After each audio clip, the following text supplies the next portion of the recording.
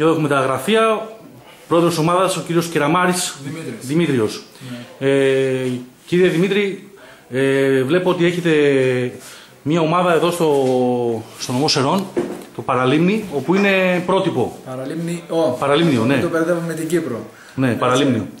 Ε, πρότυπο είναι από ό,τι φαίνεται και βλέπω και πολύ ωραίο το γήπεδό σας και γενικά την αγαπάτε την ομάδα. Πώς το έχετε καταφέρει αυτό και η ομάδα έχει κάνει μια τόσο πάρα πολύ ανταγωνιστική ομάδα φέτος στη ΓΑΜΑ Εθνική. Κοίταξε, τα τελευταία χρόνια από τότε που ξεκίνησε ξανά η ομάδα με μια πραξία 4 ετών. Υπήρξε έτσι, απραξία. Υπήρξε μια απραξία 4 ετών γιατί πιο παλιοί πρόεδροι που ασχολήθηκαν με την ομάδα που ήταν Δέλτα Εθνική Δυστυχώς έχουν συγχωρηθεί και οι δύο. Από εκεί και πέρα υπήρξε μια απαξία 4 ετών. Ε, συγγνώμη λίγο, τότε... μπορείτε να αναφέρετε τα ονόματα των Προέδρων. Για να... Ε, ήταν, τότε ήταν ο κύριος Τζεμετζής ε, Δημήτριος και ο Γαβρανίδης Οδυσσέας. Έτσι. Οι οποίοι δεν είναι φυσικά και στη ζωή. Ε, από τότε υπήρξε μια αποχή 4 χρόνια έτσι, και ξαναξεκίνησε η ομάδα από γάμα τοπικό και σιγά σιγά έφτασε να είναι στη ΓΑΜΑ Εθνική. Στο ΓΑΜΑ τοπικό πότε ξεκίνησε, ποια χρονιά, 2000. Ε, αν θυμάμαι καλά, 2009-2010. Εκείνη τη χρονιά δηλαδή, Έτσι, με το που μπήκαμε ουσιαστικά στην κρίση κιόλας. Ε, ουσιαστικά στην κρίση. Ναι, έτσι, ναι, και... Ανέβηκε στο Β τοπικό, έτσι κάναμε μια πάρα πολύ καλή πορεία. Κατακτήσαμε και το κύπελο Ένωσης Σερών ε, Β τοπικό ομάδα που δεν το είχε καταφέρει ποτέ.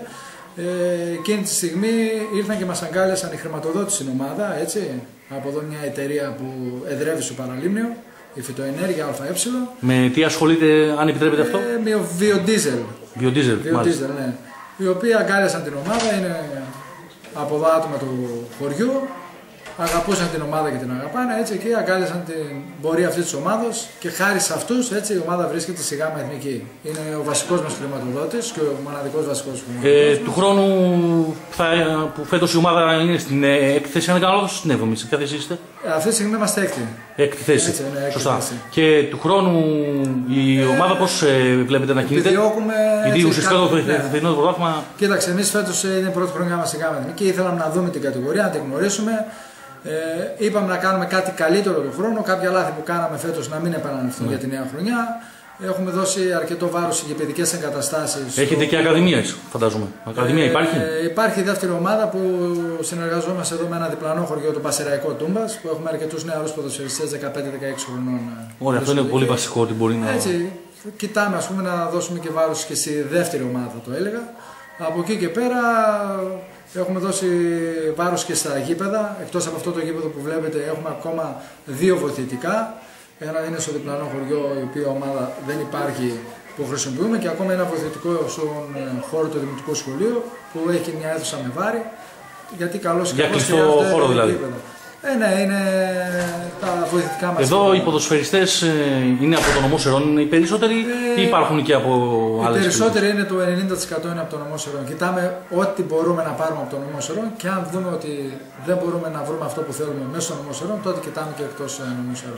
Υπάρχει κάποιο είδους συνεργασία με τον Πανσεραϊκό, υπάρχει... Υπάρχει συνεργασία με τον Πανσεραϊκό. Ήδη έχουμε πάρει ένα δανεικό, τον Τζομαχασβίλη, τον Νίκο, τον Πανσεραϊκό. Μάλιστα. Έτσι, θα δούμε αν θα τον έχουμε και τη νέα χρονιά. Αυτά είναι λίγο μελλοντικά Θέλω λίγο να μου πείτε δύο λόγια πώς ε, βλέπετε τις δύο πρώτες ομάδες, μια που υπήρχε και αυτός ο ανταγωνισμός μεταξύ τους, δηλαδή τον Απόλυτο Καλαμαριά και τον Δόξα Δράμα. Ναι, κοίταξε, φάνηκε ότι αυτές οι δύο ομάδες θα διεκδικήσουν μέχρι το τέλος. Ε, ένα σημαντικό κυριακό παιχνίδι ήταν το ντέρμπι την προηγούμενη εβδομάδα, δηλαδή πριν το Πάσχα μαζί τους.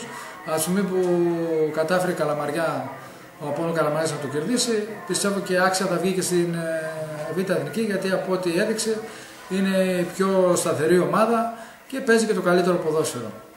Ε, εδώ σήμερα πόσο κόσμο ευελπιστείτε ότι θα υπάρχει, το γήπεδο θα είναι γεμάτο φαντάζομαι. Οι φίλοι του Απόλου Καραμαγιά πήραν 300 ειστήρια, έχουν την κερκίδα με το σκέπαστρο. Από εκεί και πέρα. δηλαδή. Ναι, ναι, ναι, από εκεί και πέρα υπολογίζουμε γύρω στους 300 με 300 άτομα γιατί παίρνει η άλλη κερκίδα να έρθουν εδώ και σε ρεύση. Και θα έρθουν και από άλλες περιοχές. Ε, σίγουρα, ναι, έρχονται και από άλλες. Υπολογίζετε ότι μπορεί να έρθουν και από δράμα; Α, δεν πιστεύω. Δεν υπάρχει ενδιαφέρον για αυτούς πλέον.